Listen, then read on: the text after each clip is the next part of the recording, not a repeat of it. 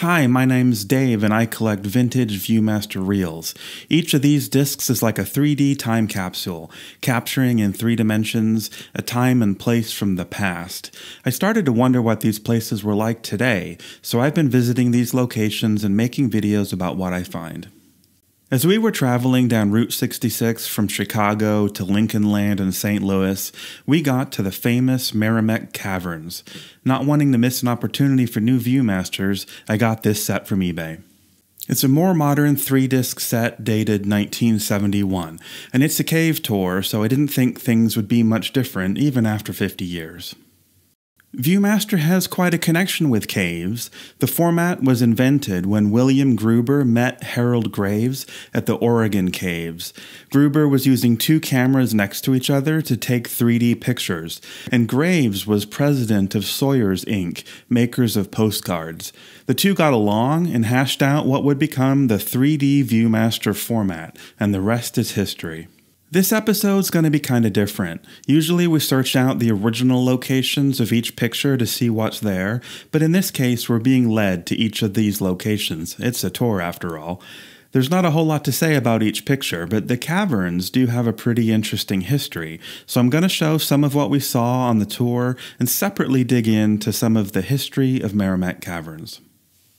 First up, Meramec River.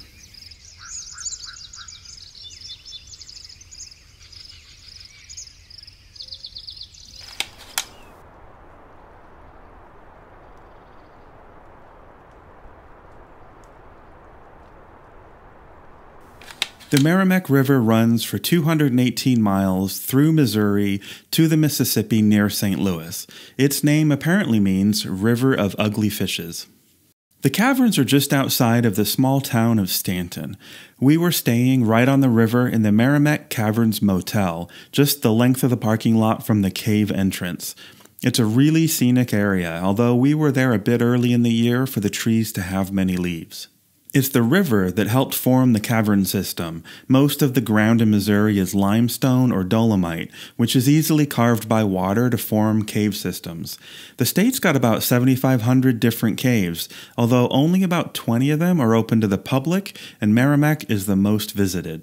The caverns are 4.6 miles long and 400 million years old.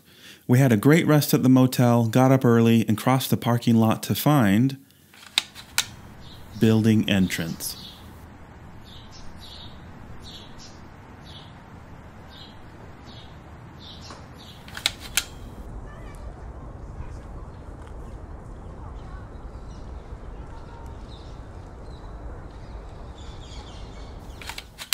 Not much has changed here except the flagpole's taller. You can't really see the big entrance to the cave because the gift shop and restaurant are in the way, but that wasn't always the case. Here's an older picture from the 40s. Back then, the caverns were the most popular roadside attraction on Route 66 in Missouri, and as we'll find, they were very well advertised along the highway. Here's a map of the cave system. These first few caves are enormous, and they were used for shelter by Native Americans for hundreds of years. The French found the cave in 1722, and it was the first cave west of the Mississippi to be explored by Europeans. They were looking, of course, for gold, but didn't find any. They did find saltpeter, which is an ingredient in gunpowder, and they started mining the caves for the mineral. That lasted until the Civil War when Confederate guerrillas destroyed the mine there, but more on that later. After the Civil War, the large caverns became a popular dance hall.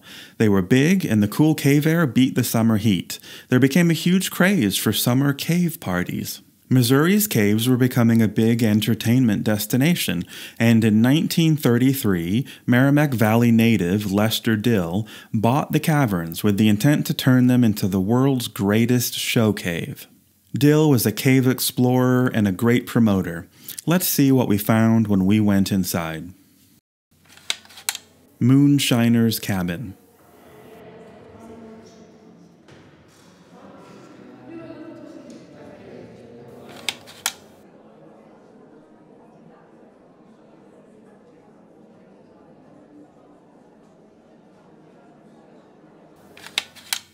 Not really sure if moonshiners used the cave or not. They probably did, but here you can see how big the main caverns are. And you can see right away the cavern's big claim to fame. They're known as the hideout of the infamous Jesse James. At this point, let's take a little diversion for a history lesson. Who was Jesse James? James was born in 1847 to a relatively wealthy slave owning family in Missouri. When the Civil War broke out, James sided with the Confederates. During the war, James and his older brother Frank joined guerrilla groups to fight the Union forces. It's at this time that James could have seen the Meramec Caverns, as these guerrilla groups were the ones who destroyed the Union saltpeter mine there. After losing the war, James basically continued to fight his guerrilla war against Republicans, robbing Republican banks and hijacking trains carrying prominent Republican passengers. He became the most famous survivor of the Confederate guerrillas and was labeled an outlaw with a reward for his capture. He was killed in 1882 and quickly became kind of a racist's Robin Hood, celebrated by former Confederates as a hero instead of the terrorist he actually was. Now, back to Lester Dill and his newly purchased show cave. Dill was quite the cave explorer and soon found an opening that led to the extensive upper portion of the cave system. He widened the hole, installed stairs, handrails, electricity, and lights, and the world famous Meramec Cavern attraction was born. But what connected all this to Jesse James? Jesse James Loot Rock.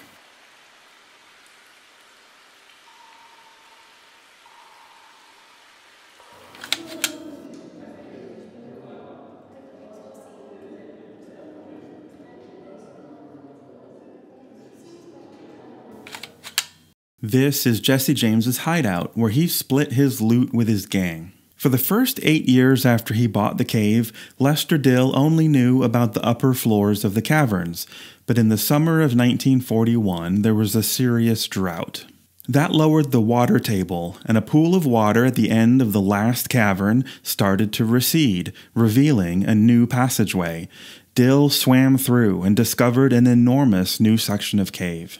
In here, he claims to have discovered artifacts connected to Jesse James near this large rock, where I guess he presumed they'd stop to split their loot. He found strong boxes traceable to the train robbery at Gads Hill, Missouri, rifles, and shackles. Although, if you think about it, James would have had to swim underwater with his loot to get to this rock. I couldn't really find any details on these artifacts, though, so it's hard to know exactly how they're connected. Anyway, the newly discovered cave section is one of the best parts of the tour. Mirror River.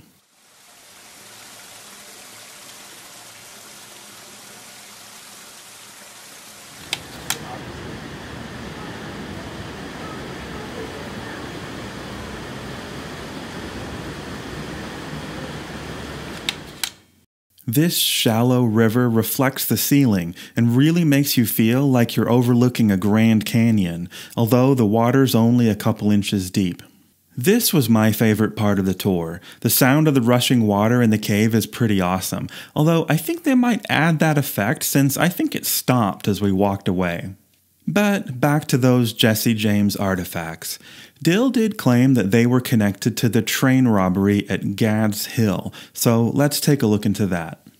On Saturday, January 31st, 1874, the number 7 express train was on its way from St. Louis, Missouri to Little Rock, Arkansas, and made its regular stop in Gads Hill, a really small lumber town.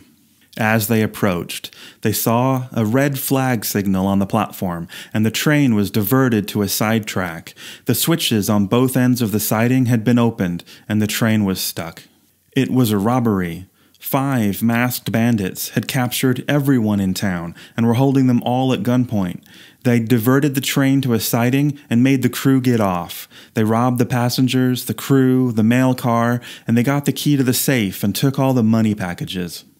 From the news report of the robbery, we do get a list of what was stolen all the registered mail, a gold watch, and all this. So, about $3,000, or about $80,000 in today's money, and they did give the chief engineer a receipt, signing it robbed at Gads Hill. Then the gang split up and took off. Seems some went south, ate dinner at Moark, and were in Hot Springs by Friday. The rest went west, and were seen in Lesterville, then Phillipsburg, Big Piney, and finally Bolivar. Did they have time to take their loot to Meramec Caverns? It's way up here, about a hundred miles out of the way in each direction. And from witness reports, it doesn't sound like they'd have had time to stash their loot there and then being seen eating dinner in Moark just days later.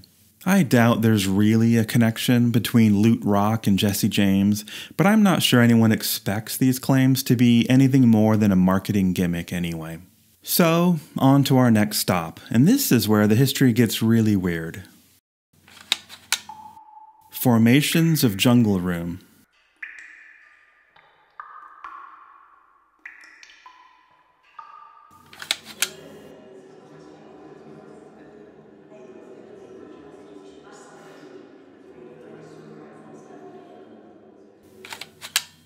Way back at the end of the river are lots of stalactite formations. Kinda looks like a jungle. The Viewmaster has them lit up in colors, but for us they weren't doing that. It's still pretty amazing. By the late 40s, the caverns were well established as maybe being Jesse James's hideout. And then, in 1948, a man in Lawton, Oklahoma suddenly claimed to actually be Jesse James. J. Frank Dalton of Centerville, Oklahoma, claimed to the local newspapers that he was Jesse James and he'd been in hiding for the last 66 years. This would have made him 100 years old. The local papers really bought into this. It all seems based on Dalton's word and the 60 year old memories of a handful of people.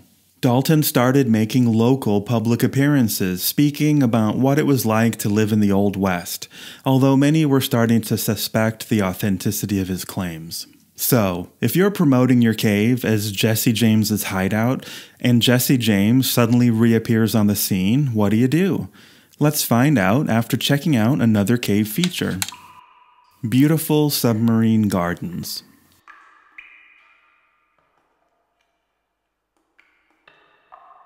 What we like to call subterranean gardens.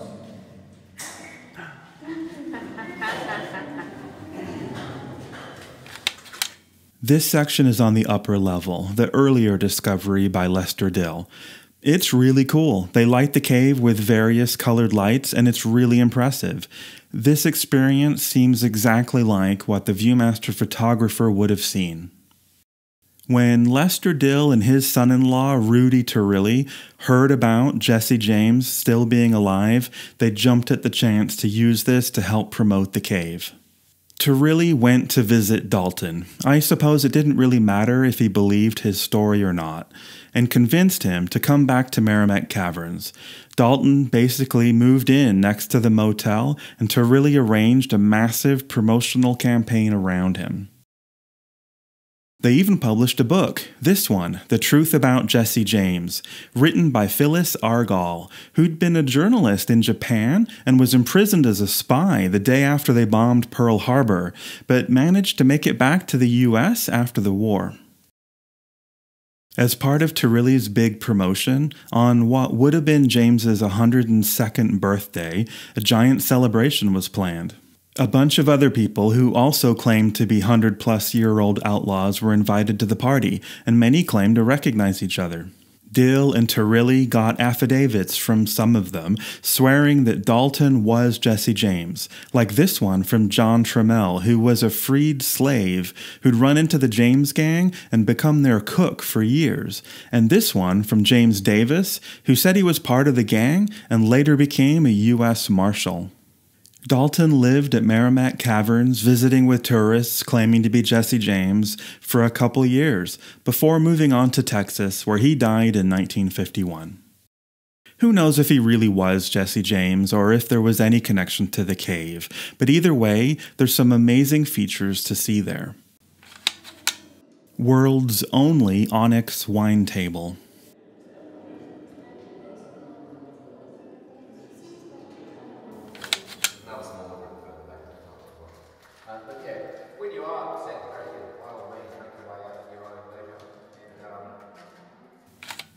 This freestanding table is one of the most famous formations in the cave. It's a six foot tall kind of table supported by three separate legs, which was formed entirely underwater. The grape like clusters are called botryoids, which is Greek for a bunch of grapes. And Lester Dill was famous for his other marketing schemes too. One was all the billboards he'd erect along Route 66, and today there's still more than 50 on Highway 44. And before that, he would paint advertisements on farmers' barns, striking a deal with them to fix up their barn or give them a lifetime pass to the caverns in return. A couple restored versions of these painted barns still exist on old Route 66.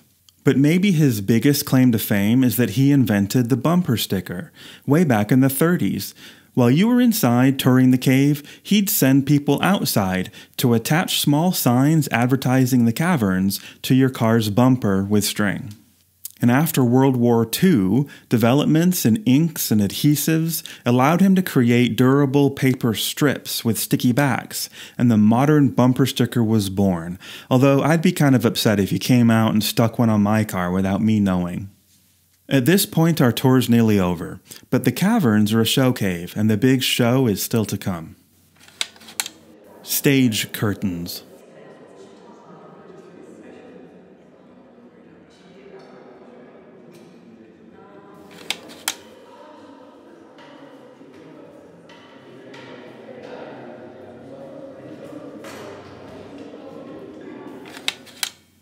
At the end of the tour is this 70 foot tall formation that kind of looks like curtains. So the area has been converted to a little theater with seats for the group. Once everyone's seated, you watch a musical video light show. It's very colorful and patriotic, I think representing the entire attraction pretty well. And it's a nice sit down after hiking through the caves, too. Then you make your way back down and you exit through the gift shop. Maybe all the hyperbole isn't really true, but the caves are still fantastic. So, what did we learn? I found the Jesse James connections quite the rabbit hole. In the end, it seems unlikely there's really anything to it, but it's interesting how easily people believed it at the time, given that the only evidence was a few people's stories. I don't think people back then were more naive than now, but maybe the proponents of it had something to gain from the claims. Lester Dill sure did. But you have to remember, it's just a private show cave, not a museum, and it's really worth the stop. It's an easy walk and has both wet and dry parts, packing all the interesting cave features into one tour. Anyway, that's it for this episode. Thanks for watching.